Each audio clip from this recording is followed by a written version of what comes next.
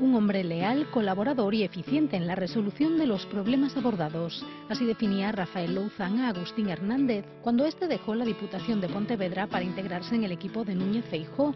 Asumió la cartera que mayor presupuesto gestionaba, la de Medio Ambiente, Territorio e Infraestructuras. Este ingeniero de caminos, canales y puertos de 53 años se convirtió enseguida en uno de los hombres de confianza del presidente de la Junta. A pesar de su perfil técnico y su tendencia a mantenerse siempre en un segundo plano, Feijó sorprendía al introducirlo en la cúpula del PPDG como su número 3 hace algo más de un año. Nacido en Lalín, Hernández concurrió a las últimas elecciones autonómicas por Pontevedra, sin embargo en los comicios locales se integró en la candidatura popular al Ayuntamiento de Santiago.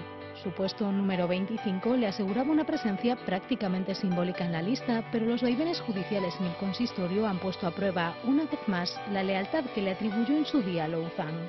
Pese asegurar en más de una ocasión que no entraba en su cabeza pasarse a la política local, su fidelidad a Núñez Feijóo ha convertido a Agustín Hernández en el próximo alcalde de Compostela. Toda una patata caliente para alguien que ya sabe lo que es estar imputado. Lo fue en 2010, cuando el Tribunal Superior de Galicia admitió a trámite una querella del PSOE por presunta falsificación de unos certificados de obra. Meses después, el mismo tribunal descartaba procesarle al entender que no existían indicios de criminalidad.